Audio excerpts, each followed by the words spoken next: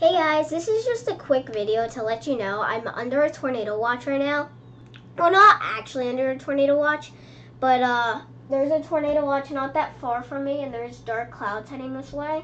So uh, this is just telling a video telling you guys that uh, I might get hit by a, uh tornado watch. So, but yeah, I, I the the answer is yes, but I might get hit by a tornado. You never know, but my area might get hit by a tornado is what I'm trying to say. So if I do, then uh, great knowing you guys. But uh, no, I'm joking. But in case any serious actions or anything, uh, I bring my iPad and I shall record. So right now I gotta check my battery and Good thing I did because it is off. Oh, no, never mind. Now it's turning on.